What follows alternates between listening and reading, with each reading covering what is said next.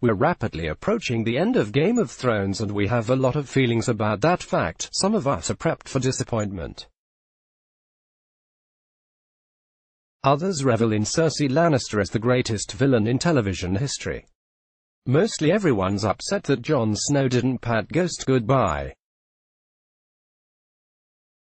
But seeing as we're headed toward the endgame and we've finally calibrated our televisions correctly, we thought it might be a good time to discuss predictions. Who will ultimately win the Game of Thrones? Here's what we think. Mark Serrels said it's clear at this point that the ship is steering toward the Jon Snow ending, but this is Game of Thrones and what you think is going to happen is almost meaningless. It's a tough one to call.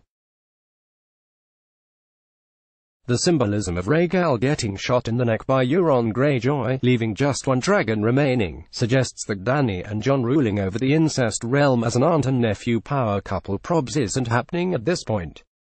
The smart money is probably on Jon Snow, given he is a literal and actual Mary Sue, but a super-powered Dany is still a possibility.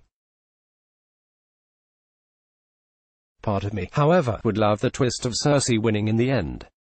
Look, she might be a sociopath who hates poor people, but she's been through a lot, okay? She's been used and abused, her children have been murdered, and she reigns supreme in the most patriarchal universe in television history. She has taken on men in the Game of Thrones, bending the rules they wrote, rules that work to her absolute disadvantage, but still she continues to outplay them all. She is my queen and I will forever bow down to her. Jackson Ryan Wild fan FIC theories are on the table now that Dot is racing hard to the finish line, right? Then the real winner should be Hot Pie. Hot Pie actually killed the Night King. He set Arya on her way back to Winterfell, where she ultimately ended the reign of the Blue Man Group. That in makes Hot Pie the most genuine, wholesome choice to lead the realm into an era of post-Lannister pastry prosperity. Oh, we can't go fan FIC. Well, uh, no one. And not like Arya's no one. Just no one. Nobody wins. We all lose. Sarah McDermott, I've only seen the first episode but I'm pretty sure the Sean Bean guy is going to go the distance.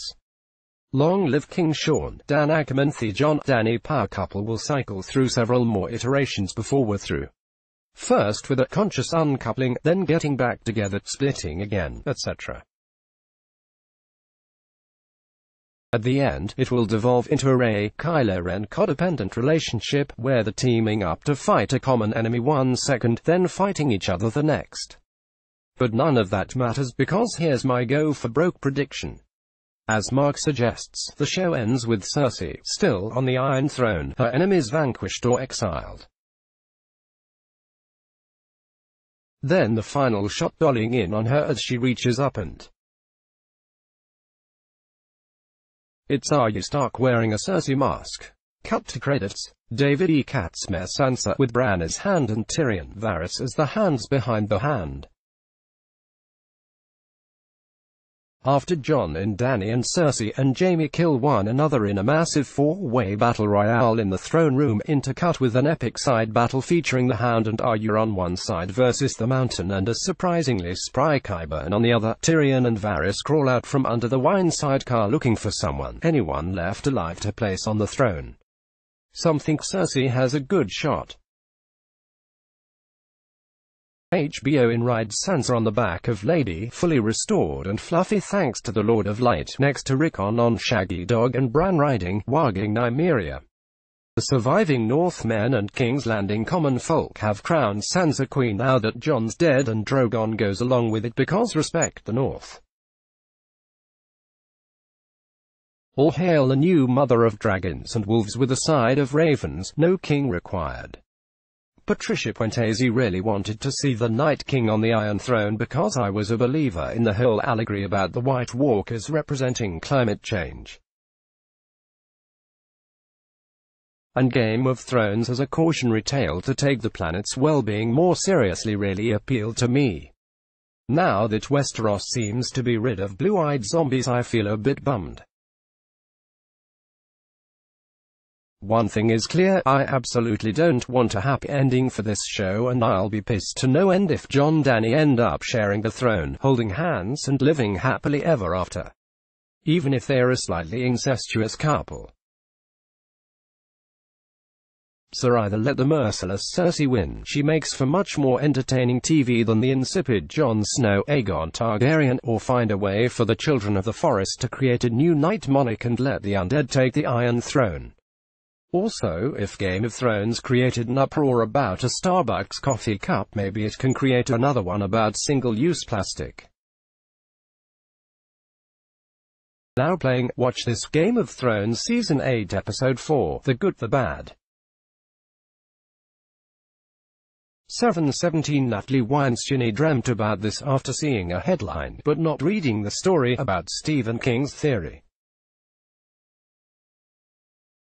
In my dream, Jaime dies while killing Cersei just as she's about to do something truly mad, just like when Jaime killed Dany's father. The mountain kills the hound. Grey Worm kills the mountain. Dany and her dragon die in battle with Euron. Jon dies trying to save Dany. Yara shows up and kills Euron. Basically only a miserable Tyrion is left to rule. My dream didn't include Arya or Bran, though I am sure they will play important roles in the finale. It also didn't include Sansa, but I'm guessing she remarries Tyrion and finally becomes queen. Finally, Qyburn wasn't in my dream, but he definitely needs to die a horrible death, along the lines of Ramsay. Despite all that, what I really want is for Dany to break the wheel and to rule with Jon in peace. But that feels like I'm asking way too much. Jon is the obvious choice. HBO Patrick Holland Cersei kills Jeymeria kills Cersei Mountain almost kills Houndria kills Mountain Daenerys goes mad Jon kills Daenerys Hon retires up North Arya Wolverine Harry Yara kills Euron Potter kills the ladies wink wink Sansa wins the Game of Thrones and Sherry think we all know the true winner here HBO or EK throw rugs. Jennifer Bisset I think it'll be Jon because he didn't get to kill the Night King, so this is his time to shine. I have no other reasoning. I hope Sansa rules the North and Dany fulfills her destiny in securing King's Landing, but then she realizes Drogon isn't happy in Westeros and flies off somewhere where secret dragons live. Our How to Train Your Dragon 3. All the characters who have some goal, like are you killing loads of people, either achieve the goal and die, or die before they achieve the goal. They all die because otherwise they'd be aimless in Jon's happy kingdom. Sean Keane has been presented pretty unsympathetically this season and Jon strictly adhered to his father-uncle's code of honor and decency, making him the obvious choice for the throne, even if that honor got Ned killed and Jon really doesn't want to sit on the chair made of knives. Cersei's amazing to watch, but she's had the throne long enough and her uppance badly needs to come. Anyway, if it can't be Oberyn Martell, who even cares? Dracarys. Let's block ads. Why?